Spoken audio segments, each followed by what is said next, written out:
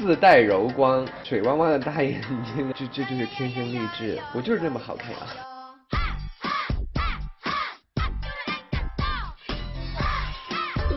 挺好的呀，就是名副其实呀。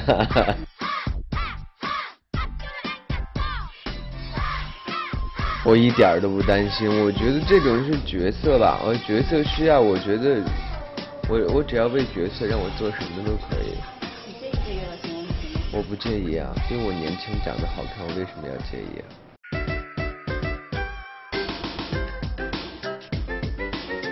我们经常互黑，我们三个一般在组里一般挑事儿的人就是以杨幂为首，然后其次是我，然后再就是李易峰，要不就是李易峰挑，我们几个人对一起红。马天宇、李易峰、杨幂这三个人就比较多。这三个人会起来激你吗？有时候会的，有时候会的。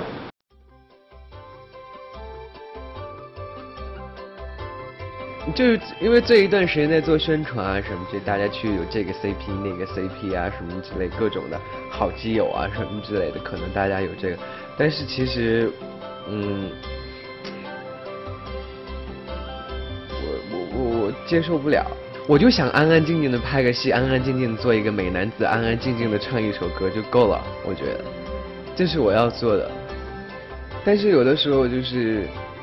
大家在旁边一起哄啊什么，就哎好啊，玩就玩吧，这样就无所谓了。我可能就是这个样子。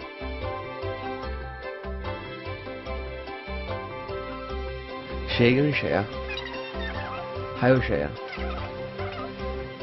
异性恋这能 CP 吗？应该是男生跟静蕾，或者是男生跟苏苏。我现在回想一下剧情，我觉得我真的就像个女一一样，天天的那么傲娇，然后跟这个怎样，跟那个怎样，天天的哼来哼去的，我跟个女生一样，跟其他的什么戏里的这种那种女一还挺像的。可能是我拿错剧本了吧？我觉得我一定是拿了风清雪的剧本。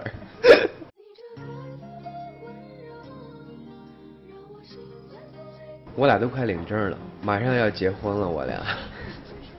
可是半路杀出来一个大师兄。他都是小三儿了，他很快就会比我 PK 掉的。我是正房。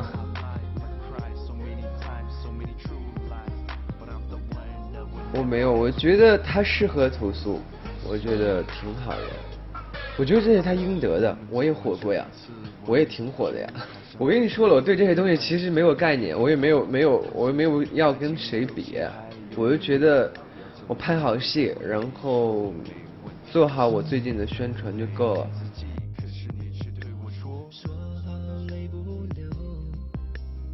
我对这些东西是绝缘的，我就喜欢玩，喜欢旅游，我也不喜欢耽误别人，就这样。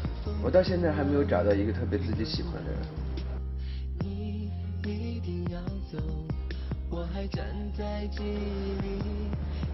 没有，真的。我会找，但我就不是现在。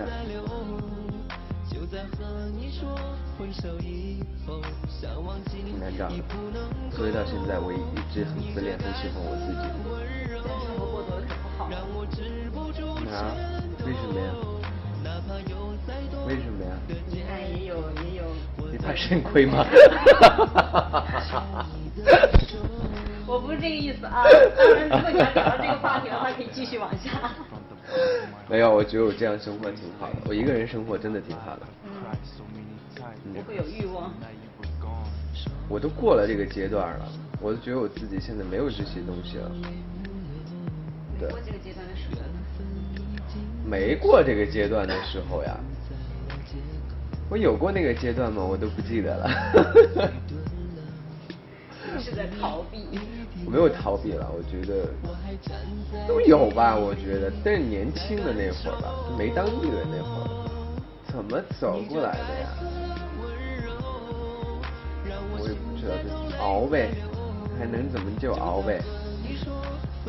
这咋办？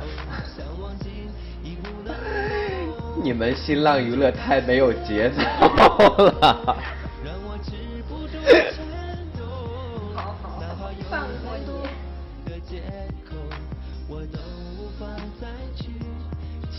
没办法，我觉得是可能是我长得太好看了吧。我怎么会这么好看呢？我长得太清秀了吧。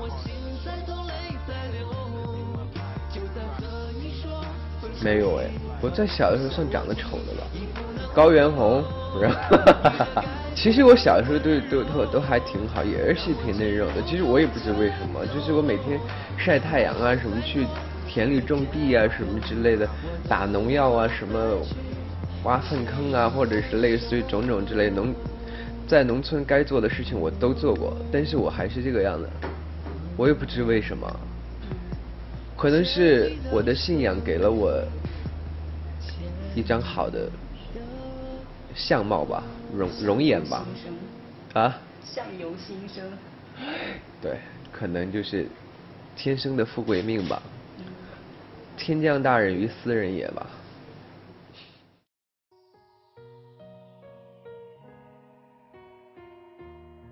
无所谓啊，他可以负责赚钱啊，我在家负责美貌就够了。我只是这么一说而已。我觉得我也受不了这个样子，我我很讨厌女强人，我也很讨厌，就是我觉得女强人可以在外面，但是要回家还要像个小女人一样。我觉得女人应该就是这个样子，否则她的婚姻我觉得会很不美满。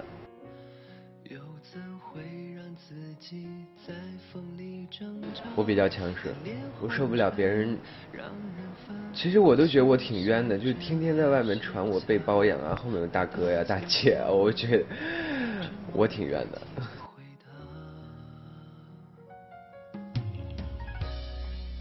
跟公司解约啊，然后经济合约，然后的问题，然后不到一年时间吧，一两年吧，我觉得没事心态很不好。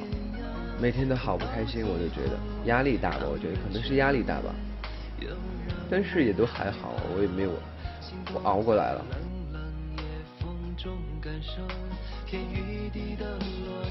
就没有经济来源了呀。其实我要解释一下，该死温柔其实没有让我赚到很多的钱，我没有，我没有拿到很多的钱。没有，我觉得我也不值钱被谁赚，但是我没有拿到钱。当然，因为那个时候有合约问题，我不能出去演出啊，不能出去演戏啊什么之类的。到后来都还好了。对。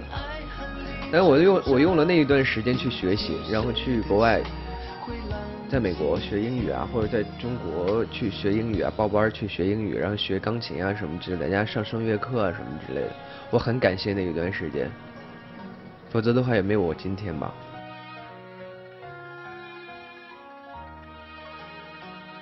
我就这样的爽姐。可是他比你小呀。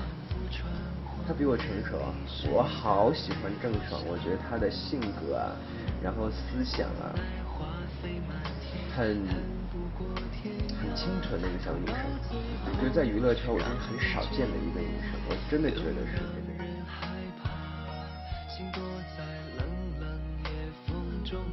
很大气，我很喜欢这样的女生，很大气的女生，有话直说，不拘小节。就跟他的名字一样，比较爽快。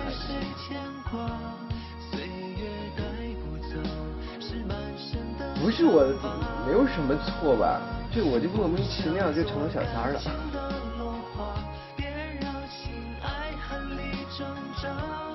我都吓傻了。就从那个时候，我就对他佩服的五体投地。